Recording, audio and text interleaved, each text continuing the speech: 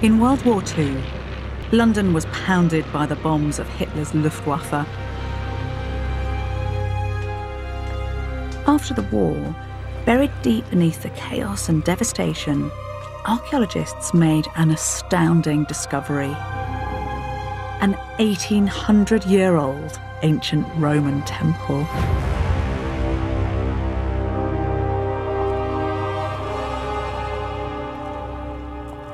Final years, this underground temple, right at the very heart of the city of Londinium, at the very edges of the Roman Empire, couldn't have been dedicated to a more appropriate and, frankly, exciting god. Because this was once the haunt of Bacchus, the god of ecstasy and wine, the god who blurred the boundaries between human and divine, between women and men, between the wild and the tamed. A god who seemingly sat at the edges of society, but that I'd argue was right at the very foundation of civilization itself. This was a god worshipped by every class, from citizen to slave, in heady, orgiastic rituals. I'm going in search of Bacchus to explore his exotic eastern roots and his prehistoric origins. This pot, it's uh, from 8,000 years ago. 8,000 years 8,000 years. Witnessing extraordinary ritual celebrations, evidence that Bacchus's spirit still endures to this day. that is really strong. My ears are actually buzzing. And as I uncover his story, I'll reveal how the god's charisma meant he reigned across the ancient world.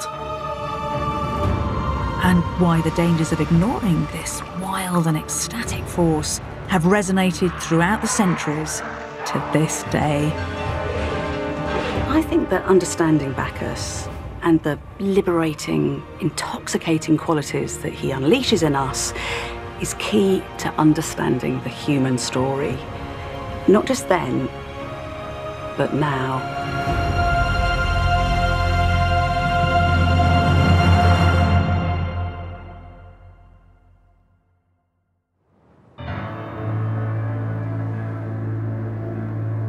To start my exploration, I've come to Athens.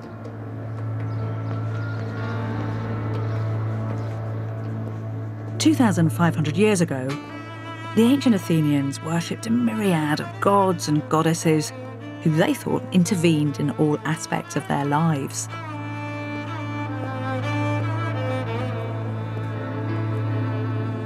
This reproduction from Athens' most iconic monument, the Parthenon, originally depicted key players in the Greek pantheon Aphrodite, Hera, and Zeus.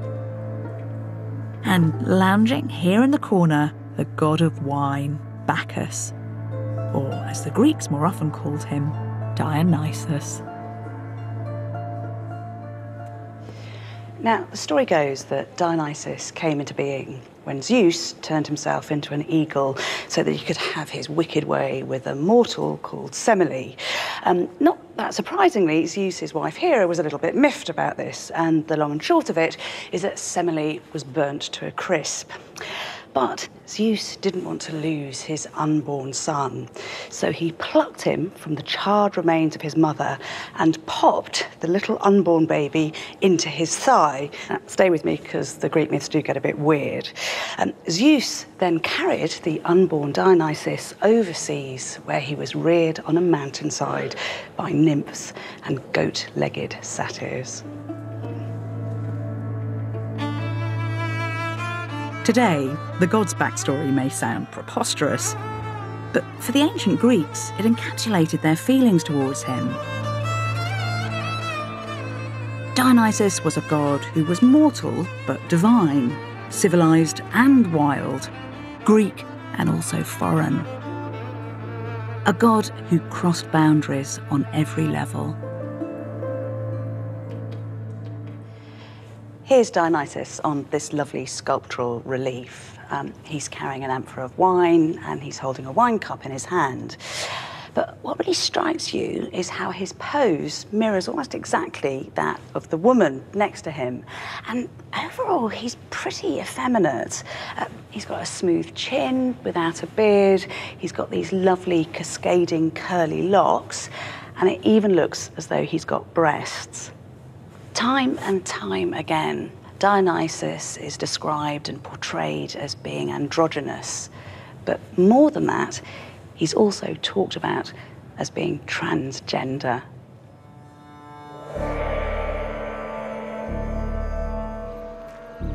So, Dionysus is brilliantly difficult to pigeonhole. And for the ancient Greeks, that seems to have made him even more popular. Now, Dionysus was the party god supreme. A third of all the festival days in the year were dedicated to him. And the mother of all festivities was the great city Dionysia.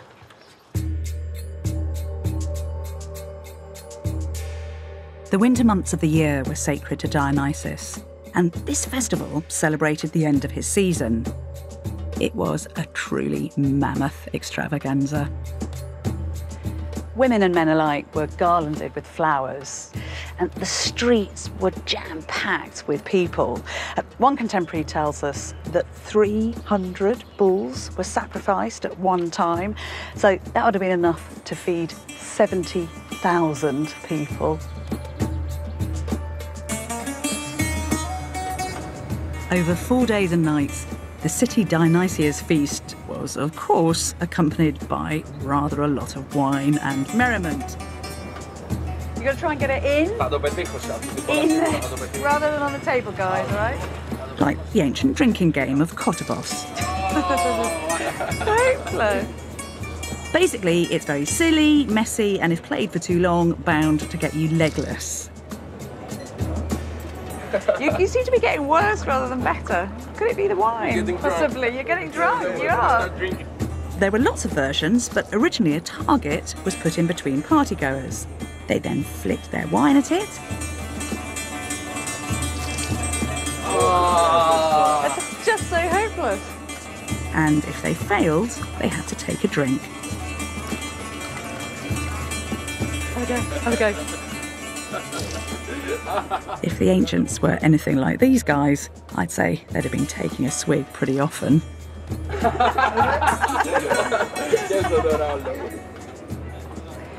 Like any drinking game, uh, often ended pretty messily. Uh, there was one Greek playwright who said that if you have around three mixing bowls worth, then men stay sensible, but by the tenth, there is madness, stupor, and unconsciousness. For the Greeks, the city Dionysia was much more than just an extended drinking binge. Festival goers cross dressed and danced and sang in ritual processions until the celebrations climaxed in a grand, dramatic competition here at the Theatre of Dionysus. Like the other Greek gods and goddesses, Dionysus was multifaceted. Um, he wasn't just a god of wine and ecstasy, but also of theatre. Now, quite rightly, drama is celebrated as one of the most brilliant legacies of Golden Age Greece, and it almost certainly developed out of a religious ritual. Um, for instance, the name tragedy probably comes from a tragos, a billy goat, who was sacrificed in honour of the god Dionysus himself. From the moment the original theatre was built around 469 BC, Athenians of every class, uh, some a bit worse for wear, would scramble to get a seat during the festival. munching on nuts and chickpeas and figs, people would have crushed into this theatre. Um, some of them had been queuing overnight so that they got the best seats. We're told that passions ran high and there were fistfights and beatings. It, this experience really mattered to people. This was a state organised affair that intended to bring the community together. Each play exploring the nature of being human. one of the most powerful surviving examples was a tragedy that immortalises the god's name, the Bacchae.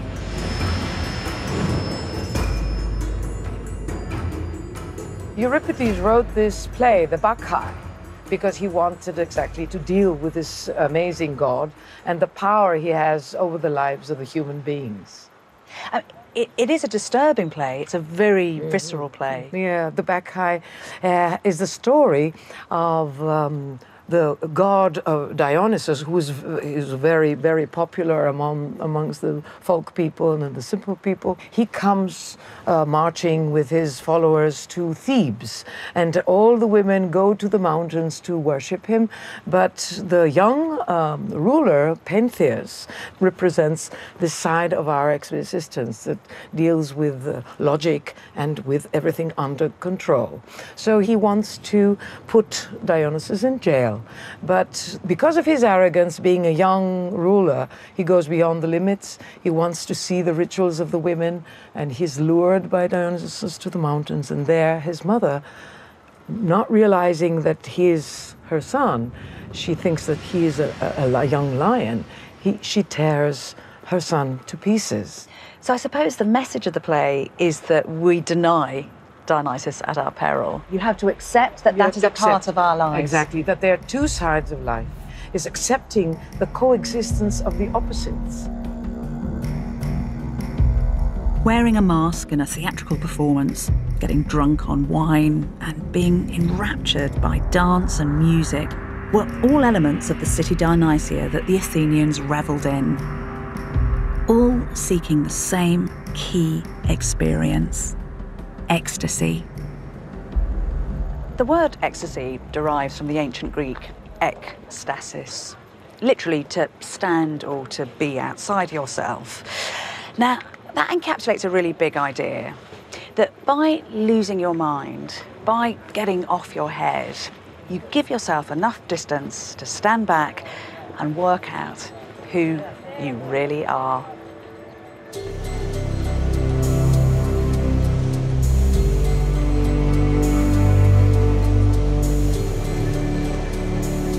What's remarkable is that vestiges of this ancient festival experience can still be found in parts of Greece today.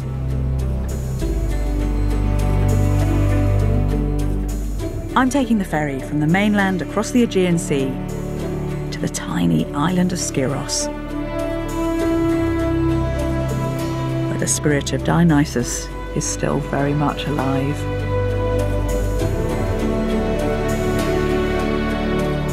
Once a year, the ancient and modern worlds collide when the local inhabitants stage their annual Goat Festival.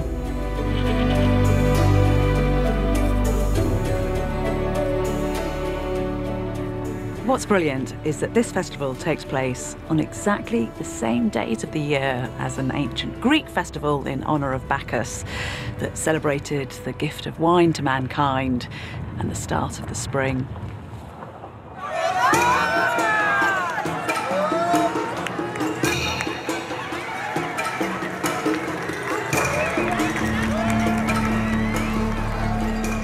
Over three days, festival goers, children and adults, all classes, just as in ancient times, some lubricated by the god's gift of wine, are transported by the spectacle and joined together in dance and song. But for me, what really captures the spirit of the god in this festival are the men who dress as the Geros, or Ancient Ones.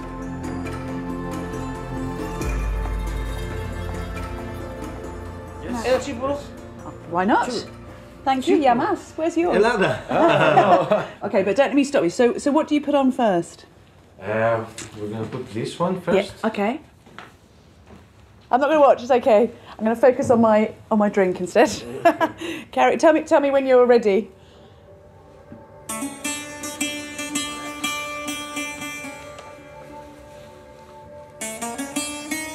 Are you wearing all of those bells? Yeah How heavy is that? It's around 60, 65 kilos. Okay, my goodness. These were the bells that um, the ship wear. Used, used to The wear. sheep. Yeah. Okay, so you're sort of well, you're kind of a mixture between a shepherd and a sheep. Yeah. Then you know, kind of man and animal when you wear them. Και αυτό που είναι από μικρό κατσίκι, This is the skin of a premature born uh, goat that died, and we put it on our face. Yeah. Wow. That's quite n- niche. Religion is a part of this. Yeah. It was added to the uniform as a tribute to god uh, Dionysus, in ancient, the ancient god. So you wear this goat mask to conceal yourself in honor of the god Dionysus.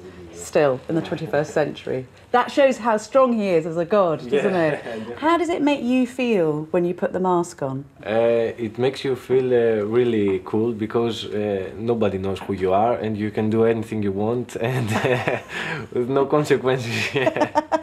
That's re- and do you ever do you misbehave? Do you do things? You- Uh, nah, not really, okay, sometimes, baby.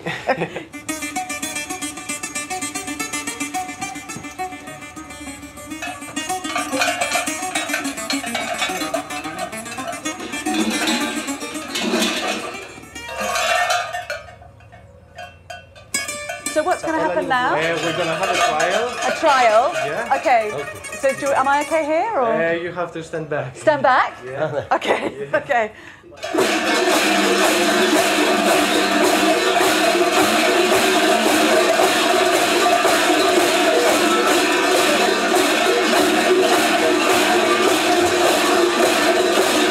That, that- that is really strong. My ears are actually buzzing. Wow.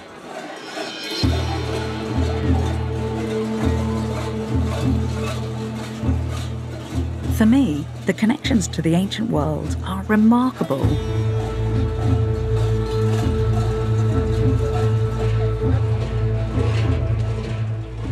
By donning the goat mask, the Geros blur the boundaries between man and animal, just like the goat legged satyrs who mythically accompanied Dionysus in his revels.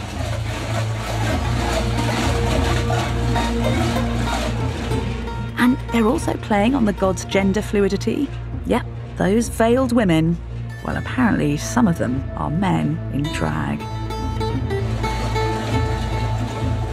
The origin of this current Bacchic celebration is unclear. It could date back 25 centuries. But there's a fascinating possibility that it might be much, much older still.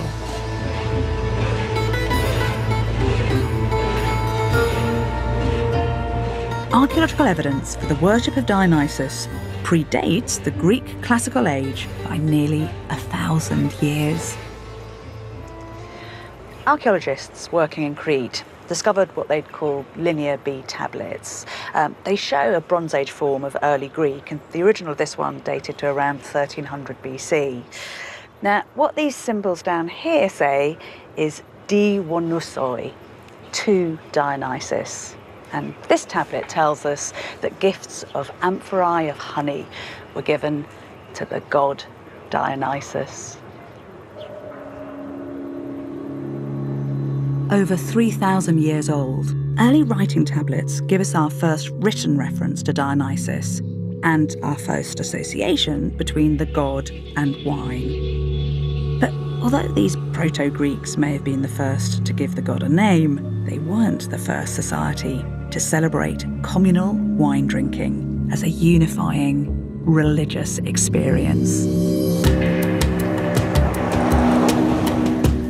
To investigate, I've travelled east to Georgia in the Caucasus between the Caspian and the Black Seas. In prehistory, this wild landscape is believed to have been home to the world's first natural grape varieties, and recent findings here suggest that worshipping the fruits of Dionysus helped to bring people together right at the very start of civilization. Archaeologists working here have made a quite remarkable discovery. What they've identified is the oldest extant evidence of pure grape winemaking right at the very beginning of society itself, when our prehistoric ancestors were making the transition from being nomadic hunter gatherers to forming stable, settled communities.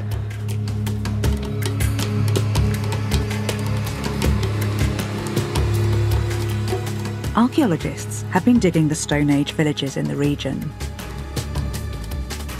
at Gadachrili Gora in summer 2017, they discovered a series of round pits containing pottery.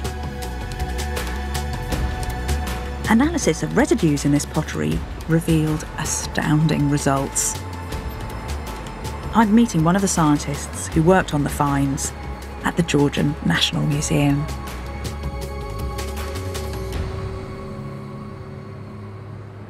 I mean, what an amazing pot. Are those grapes decorating it? Yes, yes. This pot used for preparation wine. Yeah. It is very, very important. Uh, today, it's same way, same methods. Now uh, prepare wine in our qvevri. Uh, it is in all Georgia used uh, for, for keeping. So they're producing wine all those years ago and they're still doing it using the same method today.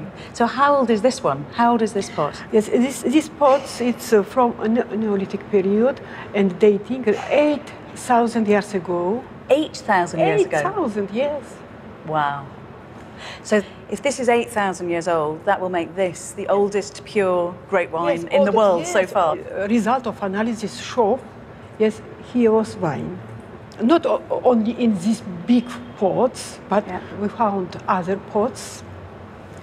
It is bottom pots Yeah.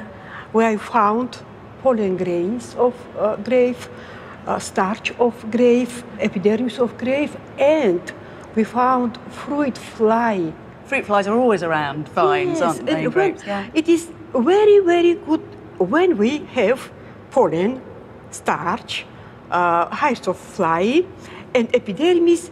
It is wine, only wine. What's really remarkable to me is that life is very tough then. This is a hard world. And yet these women and men, they're, they're bothering to take the effort to make wine. So it must show how important wine is to their society. Uh, it is very important. These vessels uh, we found in uh, in dwelling.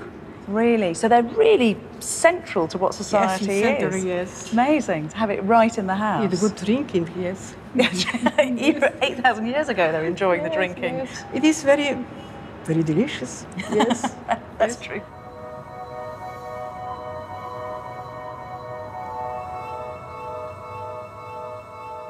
The pots are extraordinary evidence that winemaking was in the hearts and homes of our early ancestors.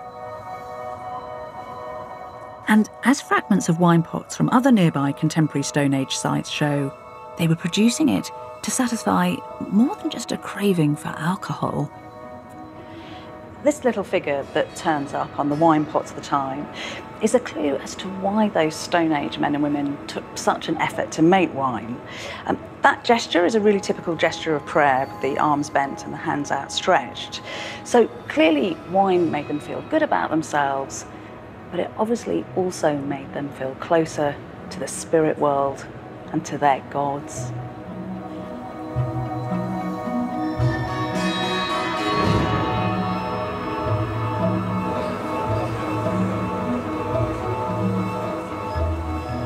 The fact that wine seems to have been being produced here for 8,000 years, pretty much in the same way, is brilliant.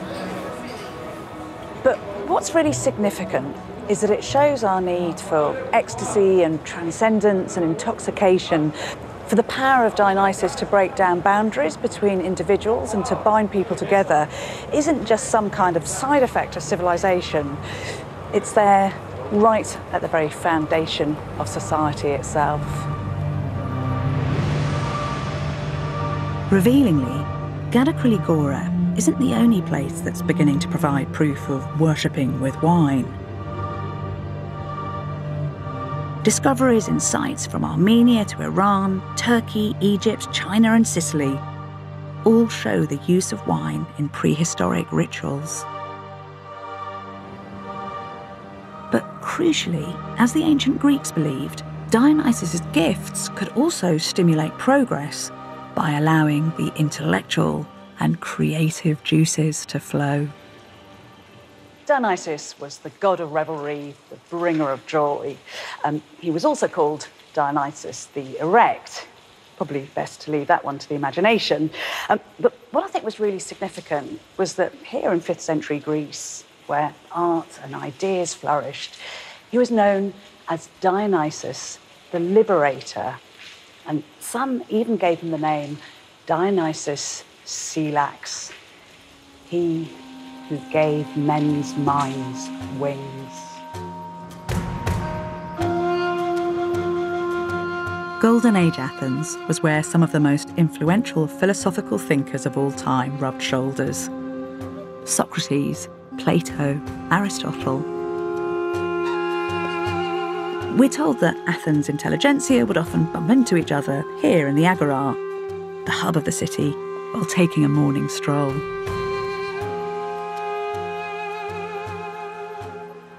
While debate might be sparked here in the public spaces of the city, we're told that more hardcore philosophical discussion took place in a rather more Dionysiac environment, in a private soiree known as the Symposium.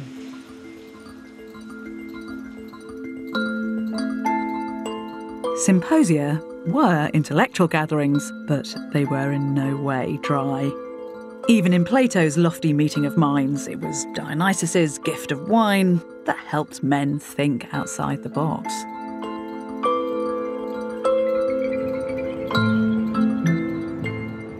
Plato's Symposium, one of the great works of Western literature.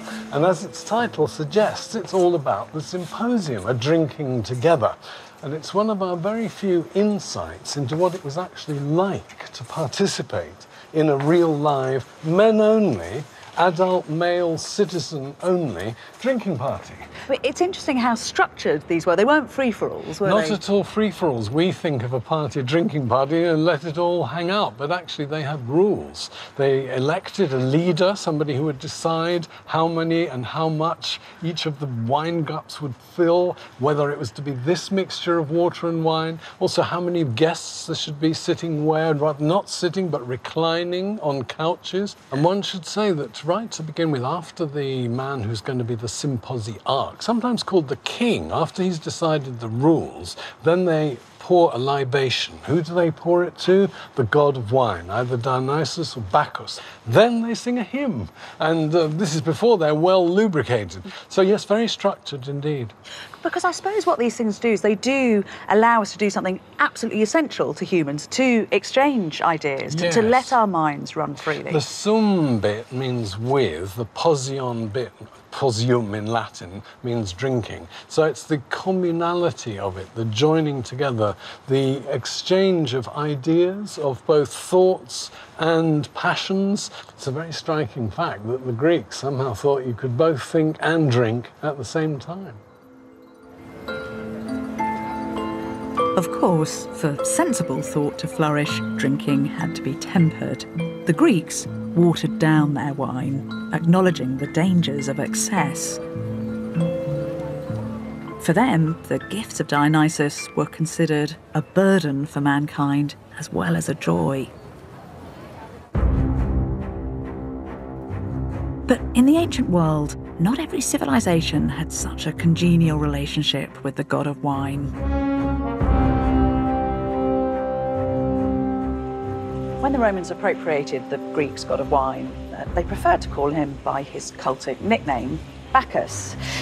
Now, the assimilation of Bacchus into Roman culture should have been relatively straightforward. After all, they had their own homegrown god of wine and ecstasy, Liber, his name hinting at his liberating qualities. But things didn't go so well for Bacchus.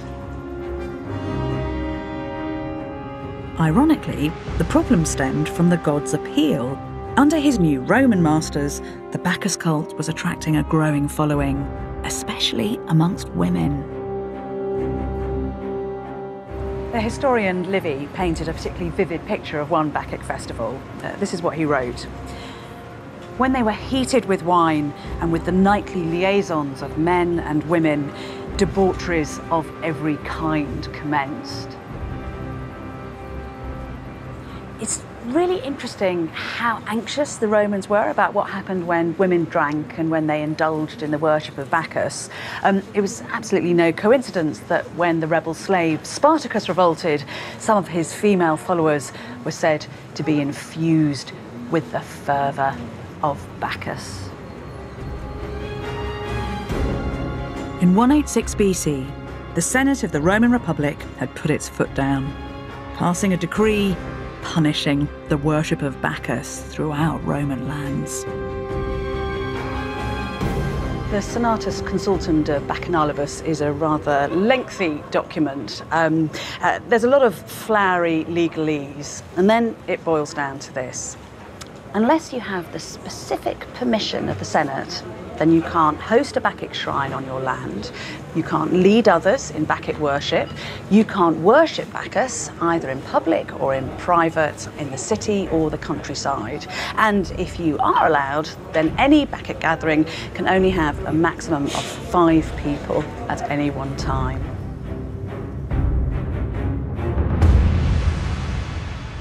Roman society is inherently patriarchal.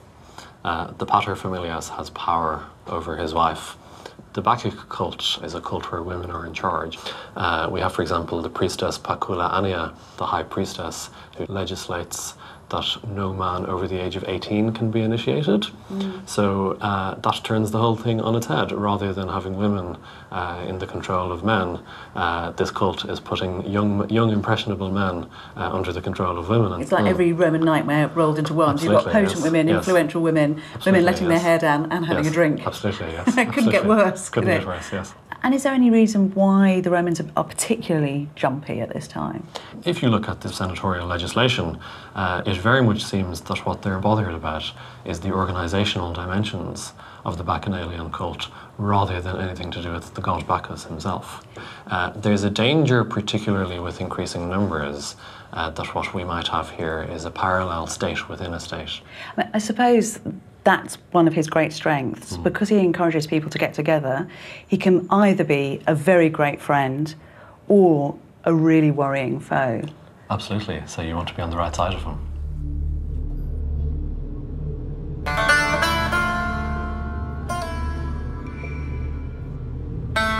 As London's very own temple that ultimately honoured Bacchus shows, the Roman authorities could never completely ban the god. He was just too popular. But they could turn his popularity to their advantage. They even employed Bacchus and his gifts as agents of control. Some personally allied themselves with the god to further their imperial ambitions. This coin was minted by the Roman general and powermonger Mark Antony. Uh, here he is, crowned by grapes. And then on the other side, you've got Bacchus standing on a kind of sacred chest that was used in the mystery cult, encircled by entwining snakes. Now, it seems to me that something rather intimidating happens to Bacchus under the Romans. Uh, they aggressively promoted the culture of wine drinking to some of their new subject populations. Julius Caesar himself recognised that booze helped to keep conquest nations submissive and subservient.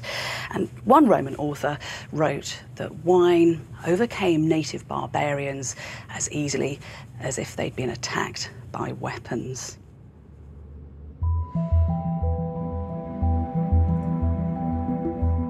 Bacchus and his gifts could be found throughout the empire.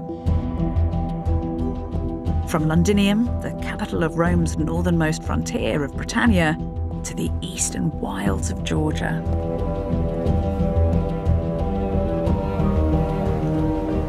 Where beneath these empty fields was once a trading boomtown called Zalisa. In the dining room of one of its most prestigious dwellings, Bacchus's myth decorates the entire floor.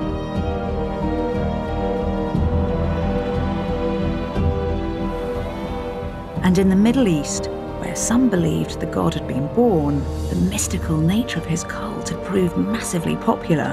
In fact, he was the region's premier god.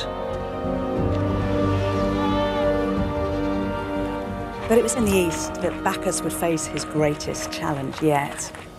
the arrival of a new man god and a new cult, the cult of Christianity.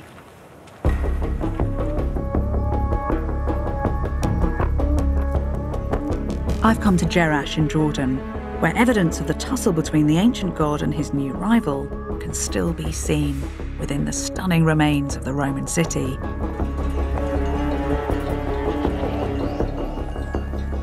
Here was once a magnificent temple complex dedicated to Bacchus until the 4th century AD, when Roman rulers swapped allegiance to the younger religion with its one all powerful god.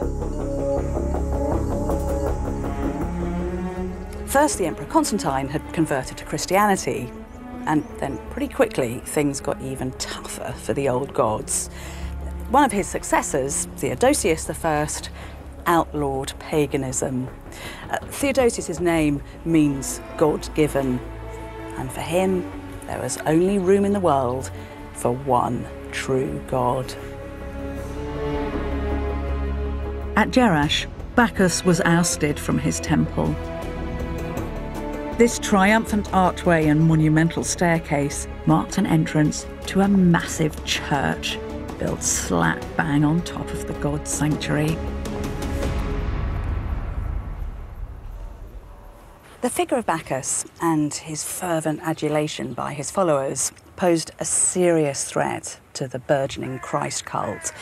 And interestingly, not because the two were wildly different, but actually because they shared remarkable similarities. Just listen to this. Drinking his wine, we drink of him. Through this gift, man is made new again. Now, that's not actually a quote from the New Testament, even though it sounds like it. It's a description of Bacchus from the Euripides play, The Bacchae. Descriptions of Bacchus in ancient myths and Jesus in the New Testament had striking similarities. We're told both performed miracles, like changing water into wine. Both had immortal fathers and human mothers. And Bacchus was said to have been killed by Titans before being born again.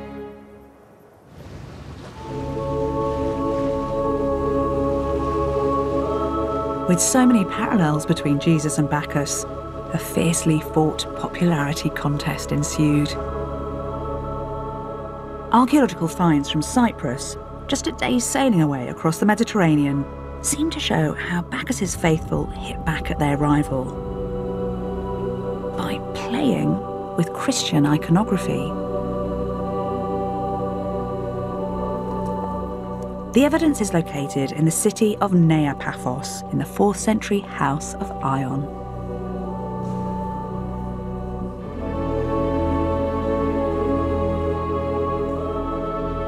This is a really remarkable find. Basically, what you have here is a whole bevy of Greek gods and goddesses and deities and spirits. They've all very handily got their names above them. Um, here's the lovely heavenly nectar. Here is gorgeous ambrosia. And in the middle there, there's the god Hermes with the little wings on his helmet. And he's cradling the baby Bacchus in his lap. Um, now, of course, we're used to Jesus being represented as a kind of divine baby, and it's being made crystal clear here that Bacchus is super special because he's got a halo around his head. Um, also, just have a look at these three figures to the side. They're kneeling down and paying their respects to the baby Bacchus, just as the three magi came to adore the baby Jesus in Bethlehem. At this time, Bacchus is being honoured at his shrines and altars that are dedicated to the Father and the Son. And increasingly during his cult, the fact that he is a bringer of life after death is being celebrated. I think that here you have nothing less than Bacchus being sold to the world as the saviour of mankind.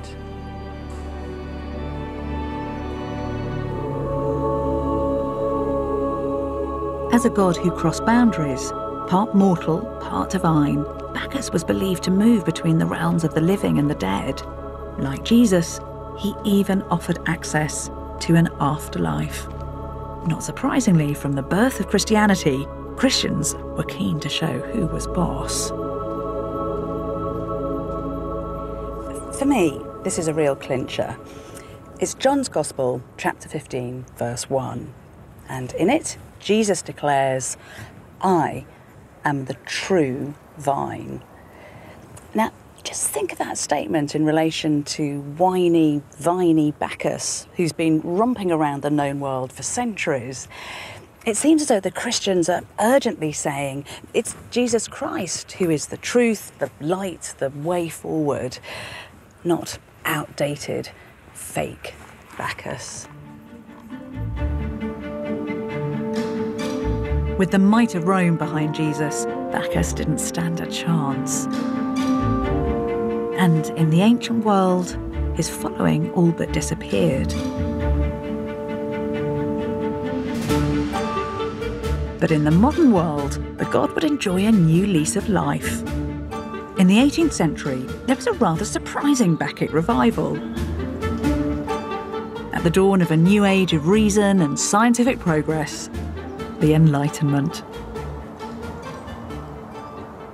The Age of Enlightenment saw a hands on interest in the classical world when the great and the good of Europe's elite embarked on the Grand Tour, basically a culturally themed gap year, in order to rediscover the glory of Greece and the grandeur of Rome.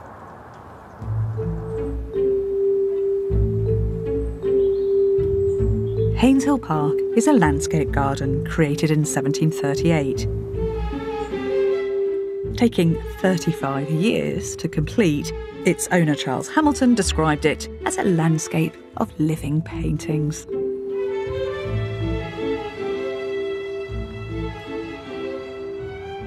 Before acquiring Painshill, Hamilton, the ninth son of the sixth Earl of Abercorn, went on the Grand Tour. Uh, in fact, he enjoyed it so much he went twice. And he came back enlightened not just by feasting his eyes on the treasures of the ancient world, but by pocketing a few for posterity, including this monumental sculpture of Bacchus.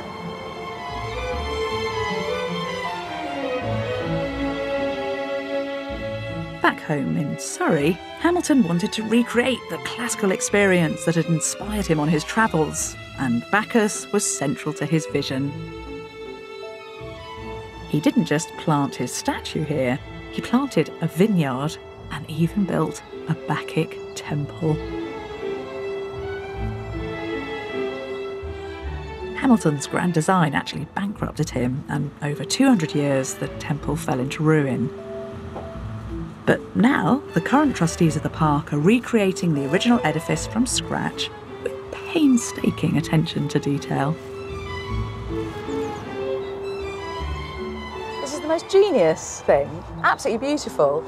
How did you jigsaw puzzle together the evidence to work out what you should put here then?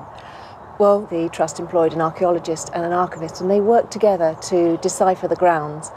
And paintings turned up, like this one, Oh gosh, fantastic. And- so that's, this is it. Yes. That's brilliant. So hilarious, really, isn't it? That you've got this kind of Greco Roman construction in the middle of the English landscape. Yeah. Do we know what would have been in there originally? Inside, Hamilton would have had his statue of Bacchus, which he brought from Italy from his grand tour. He was convinced that it was a Greek original, um, but we found uh, very fairly recently much more interesting results. Really, Bacchus is what's called a composite statue.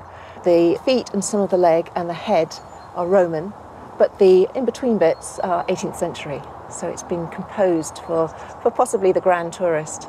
How funny. So they, it had been kind of palmed off to him as being an original, but actually they've just sort of stuck it together. Possibly, yeah. And the, the other interesting discovery was that the head was a goddess. So he was uh, a bit transgender even then. Totally appropriate. and do you know, so you've got this, this kind of lovely theatrical setting. Do we know what he's using the temple for? We think he entertained, but on a very quiet level. He, there are no stories of raucous parties or bacchanalian revels or anything, but he would have entertained family and close friends here. Interesting. So it's not, it's not actually very bacchanalian. No. Hamilton was certainly paying homage to Bacchus, but this ordered pleasure park is a world away from the god's untamed, unpredictable home turf, and Hamilton's refined dinner parties were hardly transcendental experiences. It feels to me as though Bacchus here has been kind of tidied up and sorted out and unpaganed.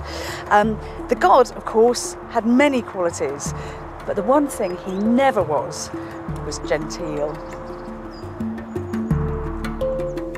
Hamilton's sanitisation of the god isn't altogether surprising. In his enlightened age, driven by science and logic, one word was held in particular contempt enthusiasm. In Greek, entheos literally means possessed by a god, the sublime. To be enthusiastic, to be Bacchic, went against reason.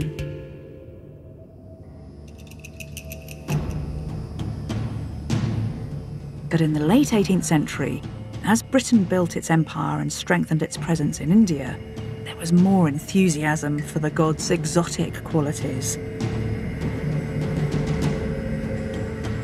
In ancient myth, Bacchus was known as the traveller god, often depicted with elephants and tigers. He himself was said to have conquered India.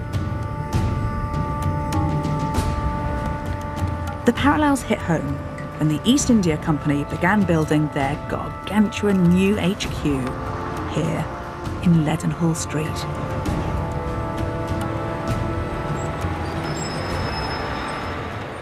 The East India Company's brand new building was actually demolished in the 19th century, but the original was so vast it was called the Monster of Leadenhall Street. Now, in 1803, there was construction work round here, and this rather fabulous second century AD Roman mosaic was discovered. Um, it depicts Bacchus conquering India, and we know that because the god is riding triumphantly on the back of a tiger. For the East India Company, this felt like great karma. Just as Bacchus had conquered India, now Britain was conquering the East. Of course, the discovery itself was nothing more than a chance find, the Bacchic image and historical coincidence. But this association between Bacchus's mythical conquest of India and the West's imperial ambitions in the East cemented a reconnection with the god.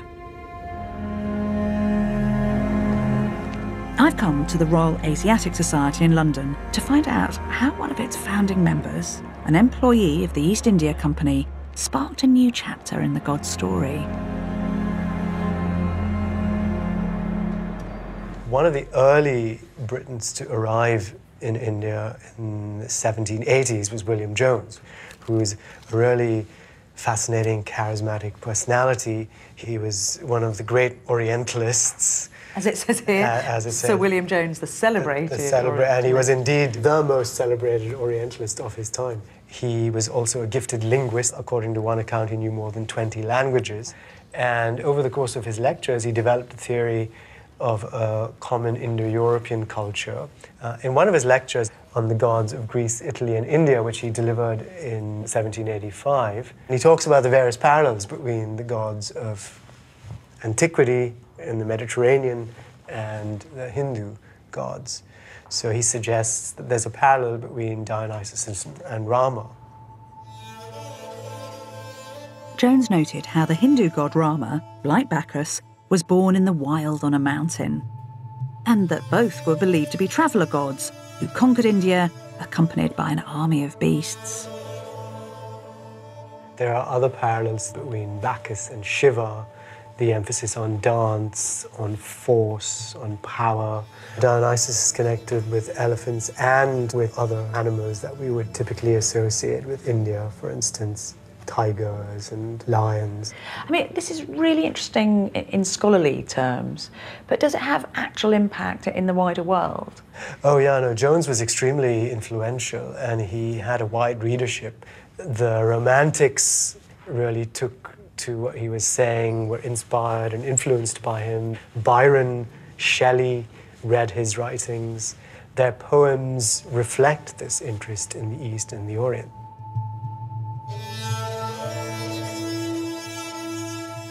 Jones's parallels between Bacchus and the Hindu deities didn't just fascinate the poets. His observations on the god's ecstatic qualities were avidly taken up by some of the greatest Western thinkers of the day, and one totally captivated was the 19th century German philosopher and professor of classics, Friedrich Nietzsche. For Nietzsche, Western civilization wasn't on the crest of a wave, it was in crisis, shackled to Christianity and infatuated with scientific progress.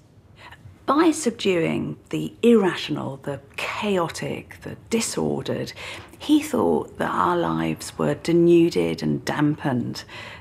In fact, not even worth living.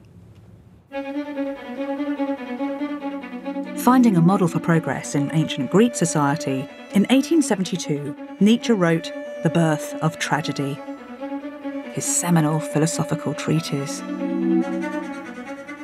In his book, The Birth of Tragedy, Nietzsche argued that the Greeks had got it right. Uh, in their art and architecture, they celebrated order, embodied by Apollo, but through tragedy and the ecstatic experience, they also embraced the deviant, the disordered, the chaotic, the Dionysian. As he'd go on to write, for any sort of perception or creation to exist, a certain psychological precondition is essential intoxication. Nietzsche had championed the value of Bacchic ecstasy in the modern world.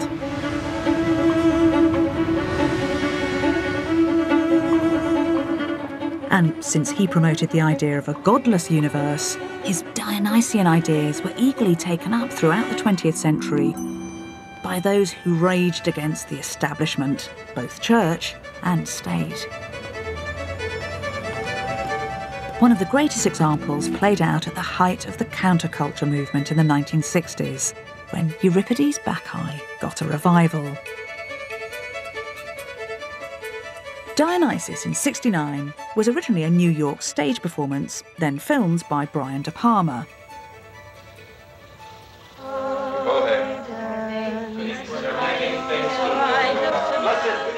Just as the original play had highlighted the perils of ignoring Bacchus in ancient Greece, this version was a cautionary tale for the modern age. Good evening, sir. May I take you to your seat? Drawing on the hippie mantra of free love, in its maker's eyes, ignoring Bacchus had led to the brutality and violence of the Vietnam War and civil rights injustices. Dionysus in 69 really is an extraordinary, wild piece of performance. It actually follows the original narrative fairly closely and it aims to evoke a sense of release and of Dionysiac excess. There's a lot of guttural moaning, groaning, and chirping. Then the actors strip naked and writhe around to portray the ecstatic intoxication experienced by Bacchus's followers in the original play.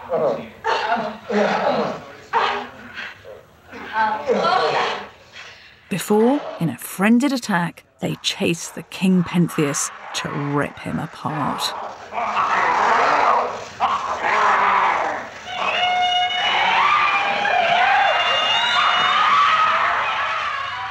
In the final moments, the actor playing the god leaves everyone in no doubt as to the relevance and critical importance of the Dionysian in the contemporary world.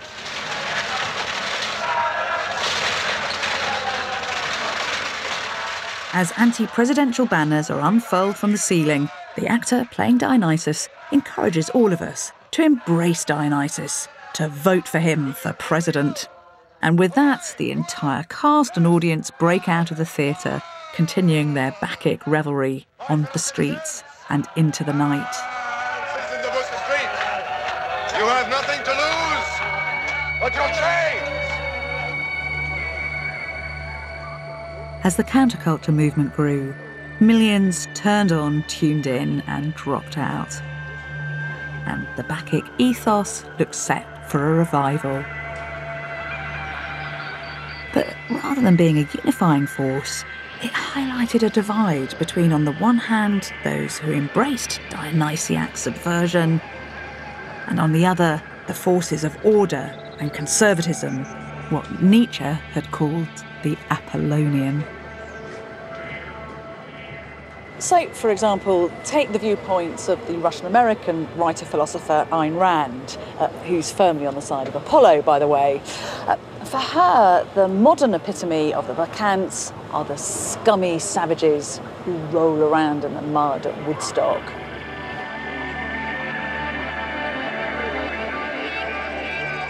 And she doesn't stop there. Uh, the Apollonians were exemplified by those who attended the launch of Apollo 11. It's all pretty literal.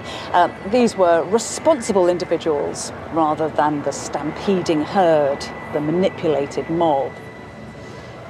For Rand, the Dionysiac was the realm of liberal intellectuals rather than the majority of regular, clean living Americans, those who were reality orientated, common sense orientated, technology orientated. Three, two, one.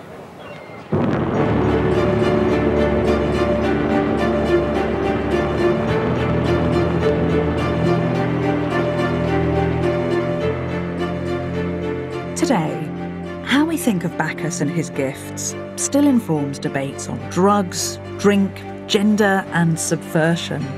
It's at the core of tensions between the natural world and urban development, between chaos and control. The god may belong to a far gone age, but the issue of how to approach the freedom of spirit that he nourishes in us and how to balance that with the ordered and rational in our lives well, that looks set to run and run.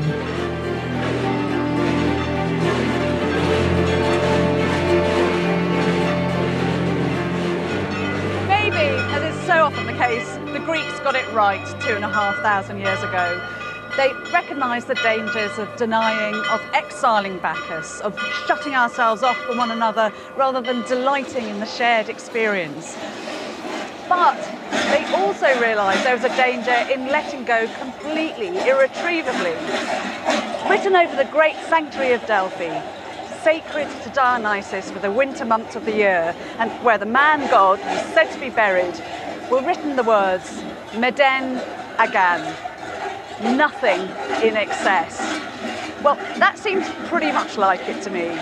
Sure, go wild, find the animal in you so you know who you truly are, but always keep just enough control to be able to pull yourself back from the edge so that ecstasy isn't toxic, but intoxicating.